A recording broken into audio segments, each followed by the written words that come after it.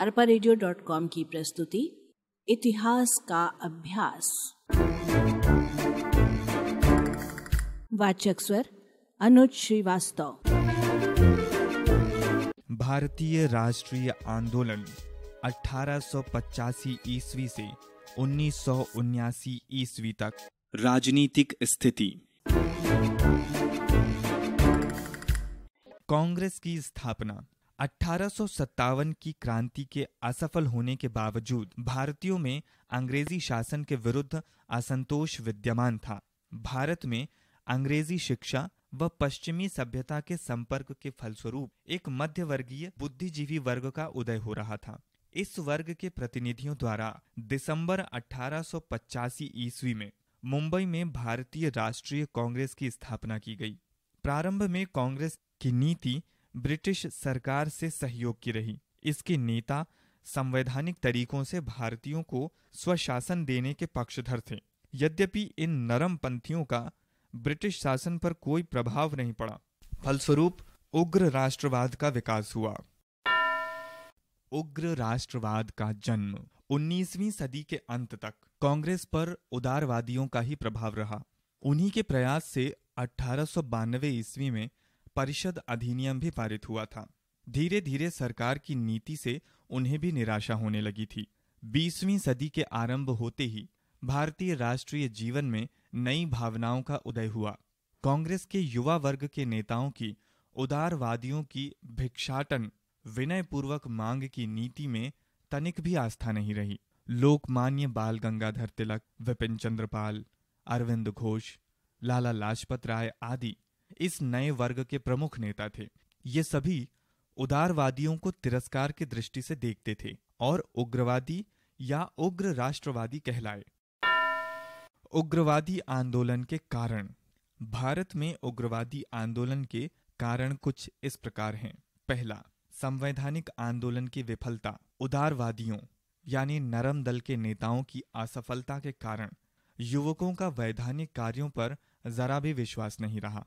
उन्हें विश्वास हो गया कि हाथ पैर जोड़ने से स्वतंत्रता कभी नहीं मिलेगी। इसके लिए शक्ति संचय करना होगा, तथा क्रांतिकारी उपायों का सहारा लेना होगा। इस संबंध में ये उल्लेखनीय है कि उन्नीस सौ बानवे के अधिनियम द्वारा जो सुधार हुए थे, वे पूर्णतः निराशाजनक थे। गैर सरकारी सदस्यों का निर्वाचन जनता द्वारा प्रत्यक्ष रूप से नहीं होता था। फिर भी विधान परिषदों को कोई उल्लेखनीय अधिकार नहीं दिया गया था। अतः युवक वर्ग को ये विश्वास हो गया कि स्वतंत्रता प्राप्ति के लिए उन्हें क्रांतिकारी रास्ता अख्तियार करना ही होगा। दूसरा, प्राकृतिक प्रकोप, अकाल और प्लेग। अठारह सौ सत्तानवे में भारत में भयंकर अकाल पड़ा, जिसमें लाखों व्यक्तियों की मृत्यु हो गई। अकाल पीड़ितों की सहायता के लिए सरकार ने जो भी प्रयास किए, वो अपर्याप्त एवं असंतोषजनक थे। फलतः भारतीय जनता में बड़ा क्षोभ था। इसी समय पूना एवं बंबई में भयंकर प्लेग फैला, जिससे जनता में त्राही त्राही मच गई। सरकार की ओर से प्लेग की रोकथाम में एवं बीमारों की सहायता के लिए कुछ प्रयत्न किए गए, पर जिन फौजियों को इस कार्य के लिए भेजा गया था, वे ही लोगों पर अनाचार ढाने लगे। इससे जनता में बड़ी तीखी प्रतिक्रिया हुई। तीसरा, आर्थिक असंतोष। 19वीं सदी के अंतिम चरण तथा 20वीं सदी के प्रारंभ में चारों ओर आर्थिक असंतोष की लहर फैल गई थी और भारतीय जनता सरकार की आर्थिक नीति से अत्यंत क्षुब्ध थी। भारतीय उद्योग धंधे नष्ट हो चुके थे, बेकारी की संख्या बढ़ रही थी और जनता कर के बोझ से कराह रही थी। अकाल और महामारी के कारण जनता की तबाही और भी बढ़ती जा रही थी। इन बातों को क्रांति की ओर प्रेरित किया गया। उन्हें विश्वास हो गया कि भारत की गरीबी का मुख्य कारण विदेशी शासन है। चौथा, लॉर्ड कर्जन का शासन। लॉर्ड कर्जन ने अपने शासनकाल में कुछ ऐसे अलोकप्रिय कदम उठाए, जिससे ब्रिटिश सरकार के प्रति विरोध तेज हुआ और उग्र राष्ट्रवाद के विकास में मदद मिली। उसका कहना था कि वो कांग्रेस की कष्ट रहित मृत्यु में पूरा सहयोग देगा। उसका सबसे अलोकप्रिय कार्य बंगाल का विभाजन था। इसके फलस्वरूप एक उग्र आंदोलन आरंभ हो गया। पांचवा, राष्ट्रीय घटनाओं का प्रभाव। तत्कालीन अंतर्राष्ट्रीय घटनाएँ भी भारत में उग्र आंदोलन के लिए सहायक सिद्ध हुईं। अठारह ईस्वी में अबिसीनिया ने इटली को पराजित किया और 1905 में छोटे से जापान ने विशाल रूस को हराया। किसी यूरोपीय राष्ट्र पर, किसी एशियाई राष्ट्र की यह पहली विजय थी। रूस की हार के बाद वहाँ चल रही क्रांति का उद्देश्य जार के निरंकुश शासन को समाप्त करना था, पर उसे कुचल दिया गया।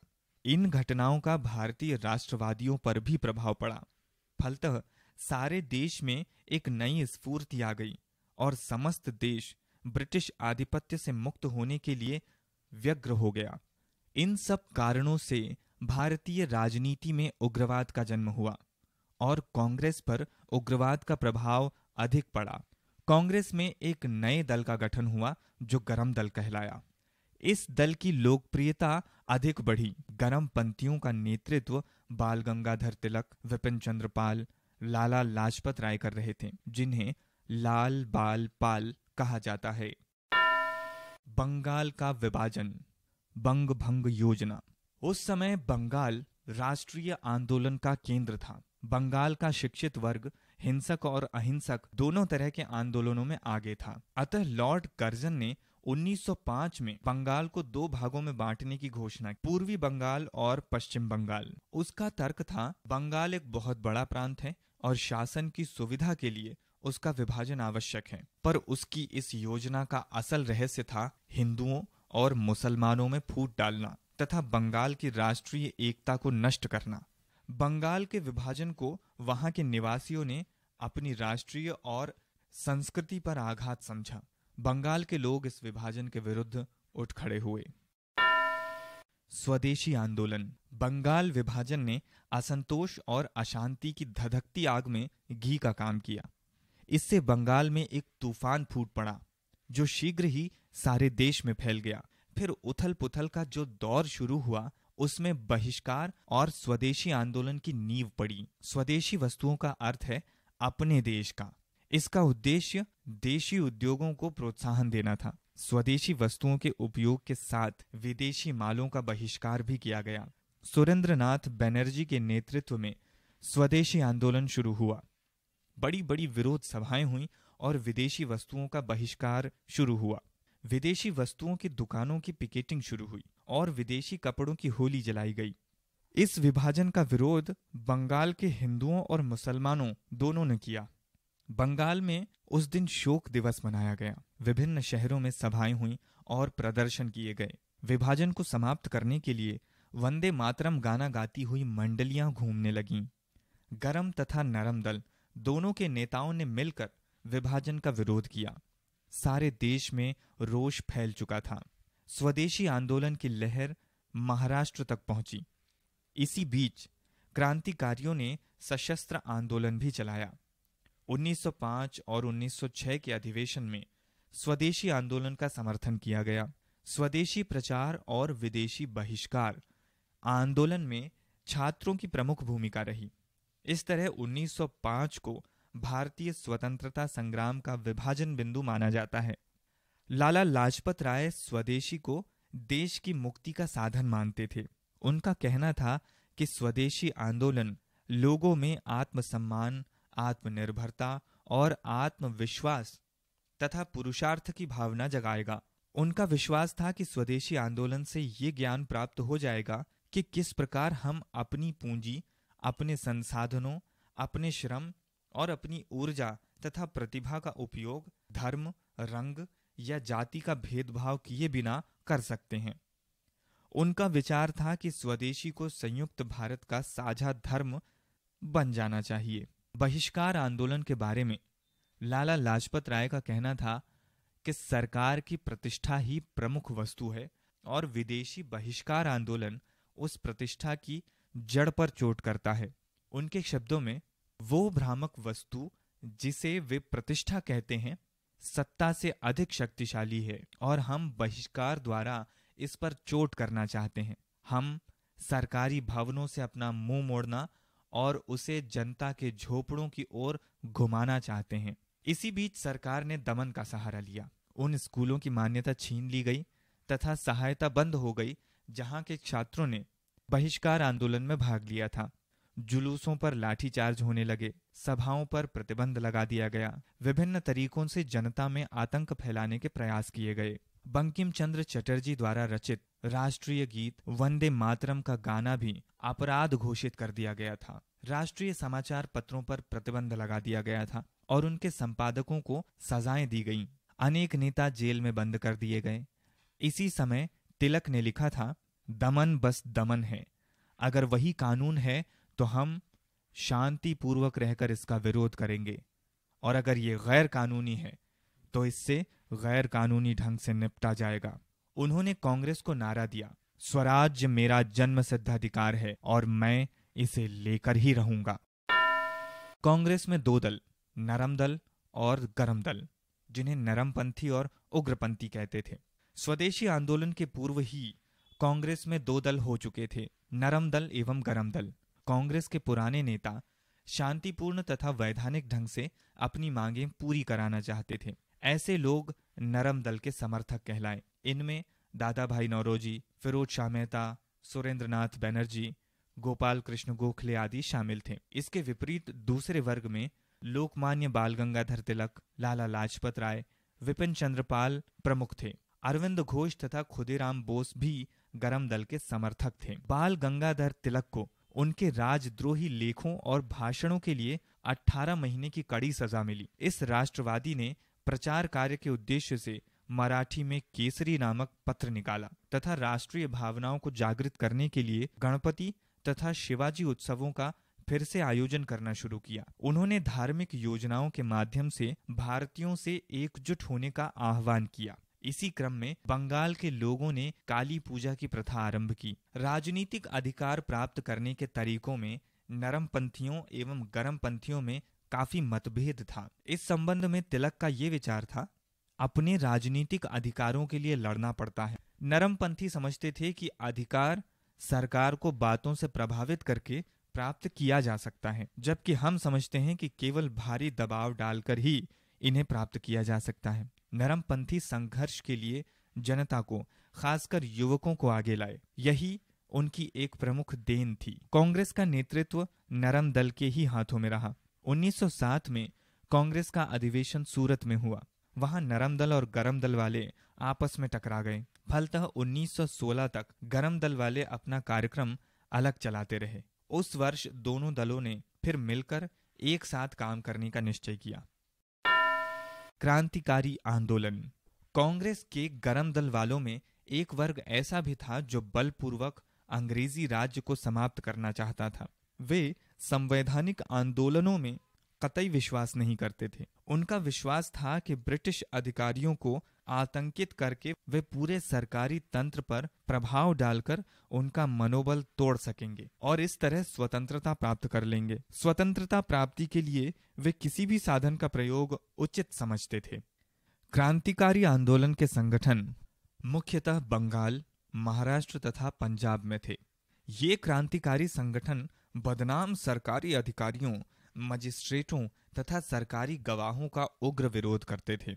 वे अपने आंदोलन को चलाने के लिए ब्रिटिश शासन का खजाना लूट कर धन एकत्र करते थे तथा अंग्रेज़ों के हथियार लूटते थे। इनके द्वारा मुजफ्फरनगर के बदनाम जज किंग्स फोर्ट की बग्घी पर 30 अप्रैल 1908 को बम फेंका गया। दुर्भाग्य से उस गाड़ी में दो महिलाएँ भी थीं, जो मुजफ्फरपुर के एक वकील पिंगल कैनेडी की पत्नी और पुत्री थीं। बम के कारण दोनों की मृत्यु हो गई। चाकी ने वहीं आत्महत्या कर ली, पर खुदीराम बोस पकड़े गए और उन्हें फांसी की सजा दे दी गई। इस घटना के दो महीने बाद ही कलकत्ता में एक बहुत बड़ी क्रांतिकारी योजना का पता लगा, जिसमें अरविंद घोष और अन्य युवक गिरफ़्तार कर लिए गए। ये घटना सामान्यतः अलीपुर षड्यंत्र केस के नाम से प्रसिद्ध है। इसमें कनाई लाल और सत्येंद्र को फांसी की सजा मिली। अरविंद घोष छोड़ दिए गए। लेकिन क्रांतिकारियों के हौसले इतने बुलंद थे कि उन्होंने पुनः दिल्ली में एक राजकीय जुलूस में हाथी पर जाते हुए वायसराय हार्डिंग पर बम फेंका, जिसमें वो घायल हो गया। पंजाब के सरदार अजीत सिंह, भाई परमानंद बाल मुकुंद और लाल हरदयाल ने क्रांतिकारियों को संगठित किया। महाराष्ट्र के क्रांतिकारियों में श्याम कृष्ण वर्मा विनायक दामोदर सावरकर और गणेश सावरकर प्रमुख थे। क्रांतिकारी आंदोलन के संगठन भारत के बाहर, यूरोप और अमेरिका में भी चले। इनमें सबसे प्रमुख संगठन गदर पार्टी था। गदर का अर्थ होता है विद्रोह। इन संगठनों ने भारत के क्रांतिकारियों के लिए धन जमा किए तथा भारत में चोरी छिपे हथियार भेजने का भी प्रयास किया। दमन और सुधार। क्रांतिकारियों से घबराकर सरकार ने ज़बरदस्त दमनकारी उपायों से काम लिया। ये दमन बंगाल, महाराष्ट्र, पंजाब और तमिलनाडु में तेज था। 1906 में राजद्रोह सभा का कानून बनाया गया। इसके अनुसार सार्वजनिक शांति में बाधा पहुँचाने वाली सभाओं पर प्रतिबंध लगाया गया। 1910 में भारतीय प्रेस अधिनियम बनाया गया। इसके अनुसार विद्रोह भड़काने वाली सामग्री छापने पर समाचार पत्रों के संपादकों को सजा देने के लिए अधिकारियों को व्यापक अधिकार दिए गए। अनेक पत्र पत्रिकाएँ बंद कर दी गईं। अनेक नेता कैद कर लिए गए। कुछ को निर्वासित कर दिया गया। केसरी में दो लेखों के प्रकाशन के कारण लोकमान्य तिलक को बर्मा के मांडले जेल में भेज दिया गया। राष्ट्रीय आंदोलन को कुचलने के साथ साथ सरकार ने सुधार की नीति भी अपनाई। इसी उद्देश्य से 1909 में मोरले मिंटो सुधारों की घोषणा की गई। मार्ले मिंटो सुधार। 1909 में मार्ले मिंटो एक्ट पास किया गया। इस एक्ट द्वारा भारतीयों को कुछ राजनीतिक सुविधाएँ दी गईं। केंद्रीय तथा प्रांतीय विधायी परिषदों के सदस्यों की संख्या बढ़ा दी गई। साथ ही कुछ और निर्वाचित सदस्यों की भी व्यवस्था की गई। पर इन निर्वाचित सदस्यों का निर्वाचन जमींदारों एवं चैम्बर ऑफ़ कॉमर्स द्वारा किया जाता था, जनता द्वारा नहीं। मुसलमानों को खुश करने के उद्देश्य से उनके लिए अलग निर्वाचन क्षेत्र की व्यवस्था भारत के लिए अत्यंत घातक सिद्ध हुई। ये व्यवस्था बांटो और राज करो की साम्राज्यवादी नीति के तहत अंग्रेज़ों की एक सोची समझी चाल थी। इसके परिणाम स्वरूप हिंदुओं और मुसलमानों में कटुता बढ़ती गई और अंततोगत्वा 1947 में भारत का विभाजन होकर रहा। नरमपंथी नेताओं ने मार्ले मिंटो सुधारों का पूरी तरह समर्थन नहीं किया। उन्होंने अलग निर्वाचन क्षेत्र का विरोध किया, पर उन्होंने इन सुधारों को लागू करने में सरकार का साथ देने का फैसला किया। लेकिन गरम पंथियों ने इन सुधारों का कड़ा विरोध किया। मुस्लिम नेताओं ने भी अलग निर्वाचन क्षेत्र की व्यवस्था की निंदा की। 1909 के कांग्रेस अधिवेशन में एक प्रतिनिधि ने कहा कि अलग निर्वाचन क्षेत्र का अर्थ पूरे भारत का ही विभाजन है और ये बंगाल के विभाजन से अधिक खतरनाक है। मुस्लिम सांप्रदायिकता का जन्म। आंदोलनों को दबाने के उद्देश्य से ब्रिटिश सरकार ने भारतीय राजनीति में हिंदू मुस्लिम सांप्रदायिकता का बीज बोने की नीति अपनाई। फूट डालो और शासन करो। रोमनों के इस पुराने सूत्र का उपयोग अंग्रेज़ों ने रोमनों की तुलना में अधिक सफलता से किया। उन्होंने मुसलमान नेताओं को सलाह दी कि उनका कल्याण हिंदुओं से अलग रहने में ही है। उनके प्रयासों से मुस्लिम समाज में एक ऐसा वर्ग उत्पन्न हुआ, जो भारतीय राष्ट्रीय आंदोलन को हिंदुओं का आंदोलन बताने लगा और कांग्रेस से अलग रहने लगा। मुस्लिम लीग की स्थापना। भारत के प्रोत्साहन से आगा खां के नेतृत्व में मुसलमानों का एक शिष्ट मंडल अक्टूबर 1906 में शिमला में तत्कालीन वायसराय लॉर्ड मिंटो से मिला। आगा खां एक धार्मिक नेता थे। वे काफ़ी धनी व्यक्ति थे और प्रायः यूरोप में ही रहते थे। शिष्ट मंडल में उनके साथ ढाका के नवाब सलीमुल्लाह थे। फलतः तीन महीने के भीतर 30 दिसंबर 1906 को मुस्लिम लीग की स्थापना हुई। आगा खां उसके प्रमुख सूत्रधार थे। मुस्लिम लीग के कुछ उद्देश्य थे। पहला, भारत के मुसलमानों में ब्रिटिश सरकार के प्रति वफादारी की भावना जागृत करना तथा सरकार के प्रति कोई गलत फहमी हो तो उसे दूर करना। दूसरा भारतीय मुसलमानों के राजनीतिक अधिकारों और हितों की रक्षा और उनकी समस्याओं के समाधान के लिए सम्मान के साथ सरकार के समक्ष उपस्थित होना। तीसरा, अन्य सुधारों के प्रति किसी प्रकार के विरोध की भावना को रोकना। 1909 में मार्ले मिंटो सुधार के अनुसार मुसलमानों के लिए पृथक निर्वाचन की व्यवस्था की गई, जिससे सांप्रदायिकता और भी बढ़ गई। फिर भी अधिकाधिक मुसलमान राष्ट्रीय आंदोलन में शामिल होते रहे। मौलाना अबुल कलाम आज़ाद ने अल हिलाल और मौलाना मोहम्मद अली ने अंग्रेज़ी में कॉमरेड तथा उर्दू में हमदर्द का प्रकाशन शुरू किया। इससे मुस्लिम समाज में चेतना आई।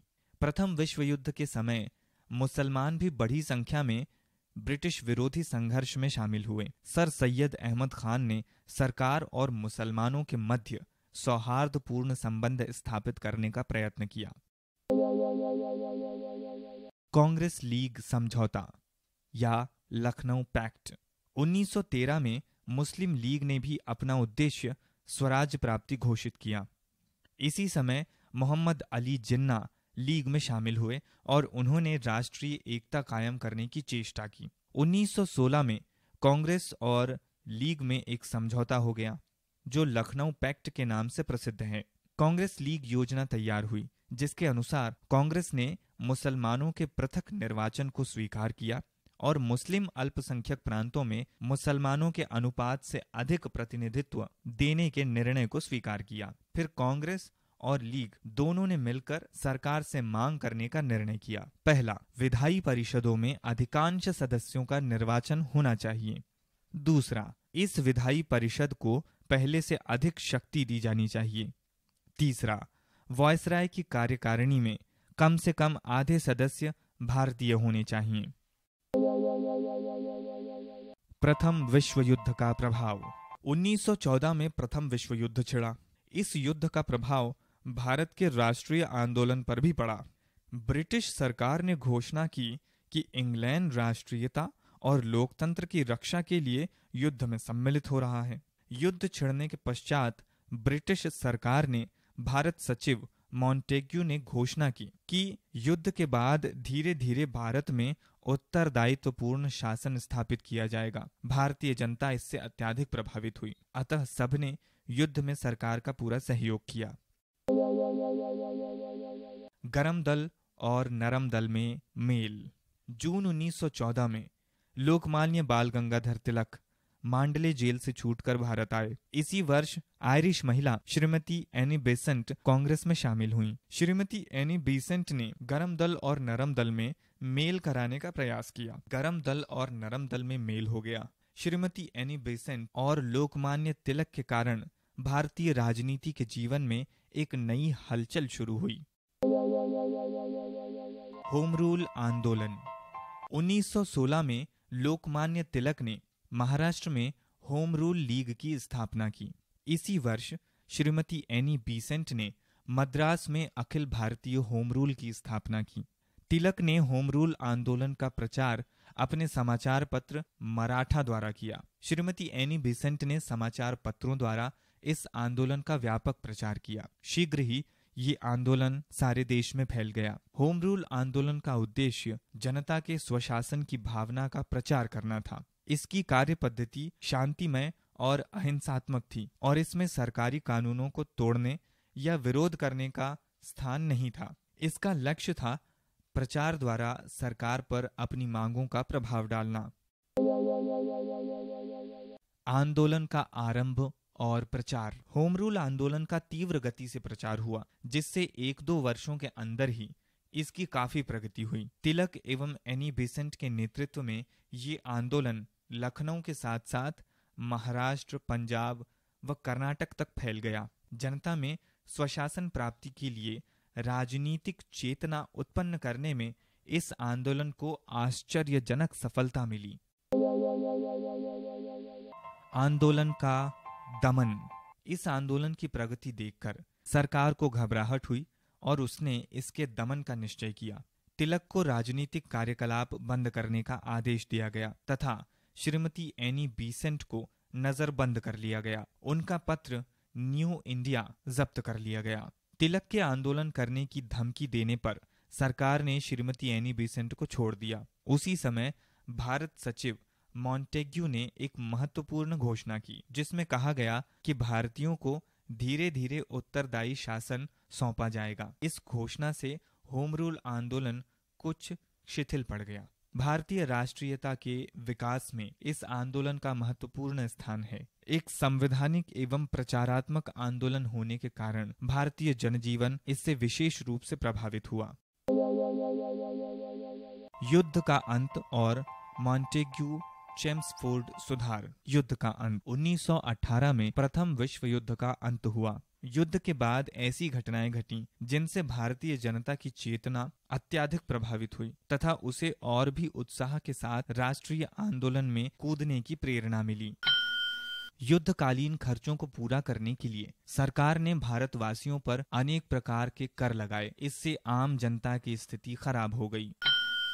युद्ध काल में स्थापित अनेक कारखाने बंद कर दिए गए। इससे उनमें कार्यरत श्रमिक बेकार हो गए। फलतः श्रमिकों के घर असंतोष व्याप्त हो गया। इन्फ्लुएंजा की महामारी से अनेक लोगों की मृत्यु हो गई। युद्ध के बाद अनेक देशों में राष्ट्रवाद की भावना तीव्र गति से जागृत हुई। जर्मनी, ऑस्ट्रिया और रूस के निरंकुश शासन तंत्र नष्ट हो गए। इसका विश्व की राजनीति पर व्यापक प्रभाव पड़ा। सोवियत संघ में समाजवाद की स्थापना हुई। सोवियत संघ ने समाजवाद की स्थापना की। सोवियत संघ की सरकार ने पराधीन देशों को सिर्फ़ पूर्ण स्वतंत्रता के अधिकार की मान्यता ही नहीं दी, वरन उसके स्वतंत्रता आंदोलन को प्रोत्साहित भी किया। एशिया में जो देश उसके अधीन थे सबको मुक्त कर दिया गया।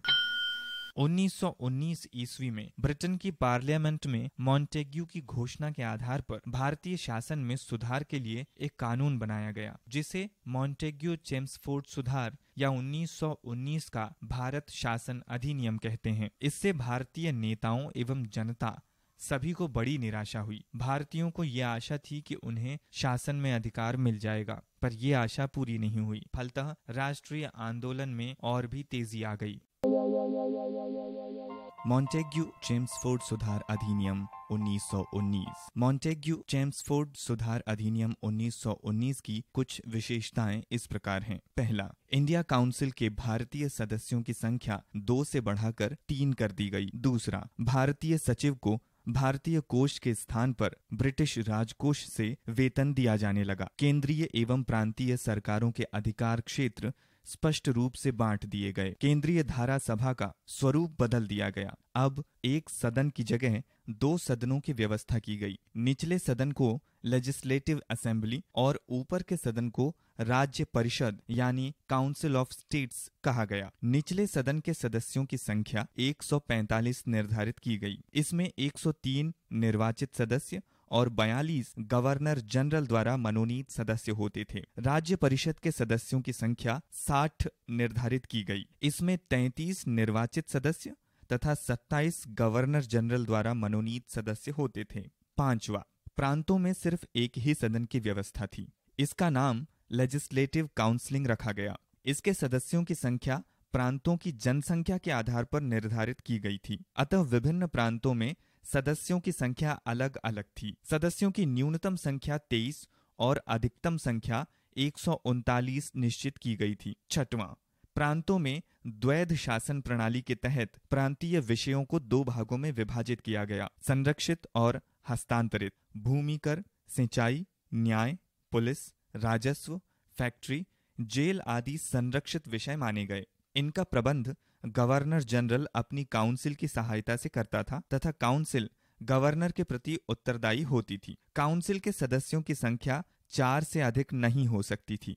इनकी नियुक्ति पाँच वर्ष के लिए की जाती थी। स्थानीय शासन, शिक्षा, औद्योगिक उन्नति, स्वास्थ्य, कृषि इत्यादि हस्तांतरित विषय माने गए, जिनका प्रबंधन गवर्नर जनरल अपने मंत्रिमंडल की सहायता से करता था। ये मंत्रिमंडल प्रांतीय विधानसभा के प्रति उत्तरदायी होता था। यद्यपि अधिनियम के मंत्रियों की संख्या निश्चित नहीं थी, परंतु व्यवहार में दो या तीन मंत्री होते थे, जिन्हें नियुक्त तथा पदच्युत करने का अधिकार गवर्नर को था। मंत्री विधानसभा से मनोनीत किए जाते थे। गवर्नर मंत्रियों के सभी परामर्श मानने के लिए बाध्य नहीं था। सातवां, अप्रत्यक्ष निर्वाचन की पद्धति समाप्त कर दी गई। अब प्रत्यक्ष निर्वाचन की व्यवस्था की गई, पर वोट का अधिकार संपत्ति के आधार पर ही दिया गया।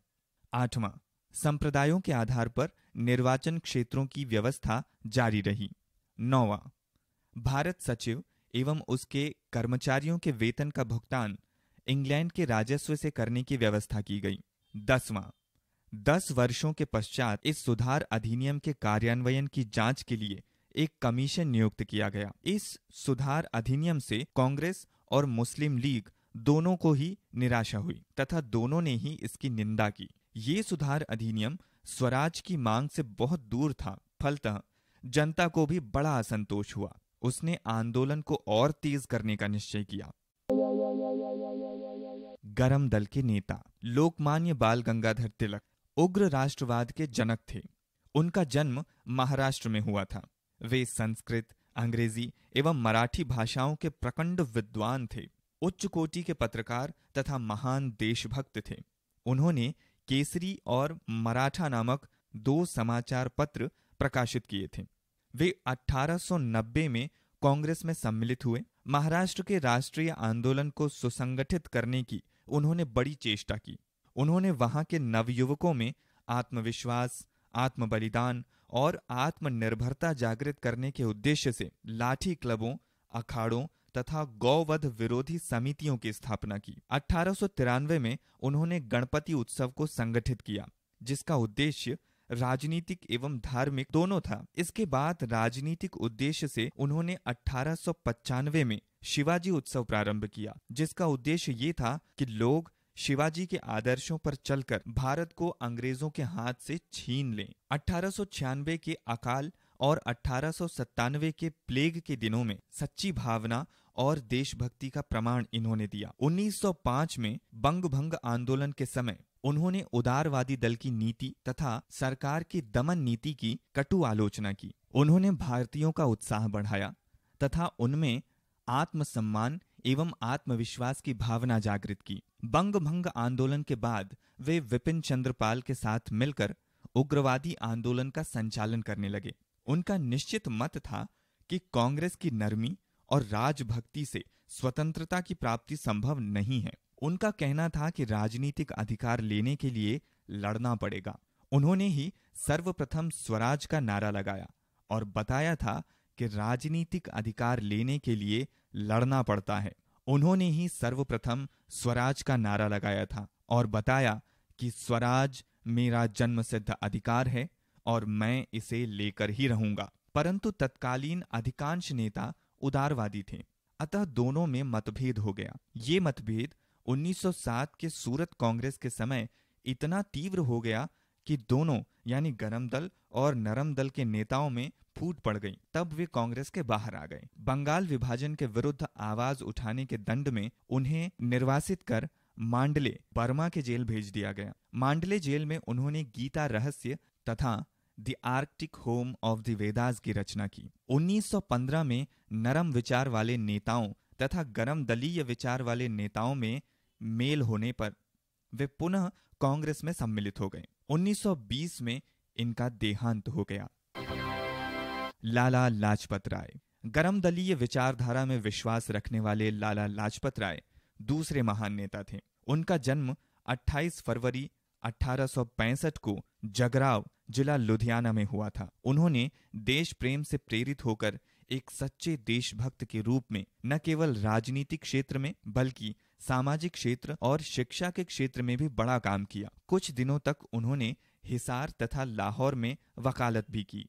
डीएवी कॉलेज, लाहौर की स्थापना का श्रेय लाला लाजपत राय को ही जाता है। वे 1880 में कांग्रेस के सदस्य बने और अंतिम समय तक बड़ी लगन से राजनीतिक क्षेत्र में काम करते रहे। साहस और वीरता के अद्वितीय गुण के आधार पर ही उन्हें पंजाब केसरी, शेर पंजाब कहा जाता था। उन्होंने बाल गंगाधर तिलक एवं विपिन चंद्रपाल के साथ मिलकर कार्य किया। लाल बाल पाल की त्रिमूर्ति इतिहास प्रसिद्ध है। 20 अक्टूबर 1928 को लाला लाजपत राय के नेतृत्व में साइमन कमीशन का विरोध प्रदर्शन किया। पुलिस के एक गोरे अधिकारी सैंडर्स ने उन पर बड़ी बेदर्दी से लाठी से प्रहार किया, जिसके कारण 17 नवंबर 1918 को उनका देहांत हो गया।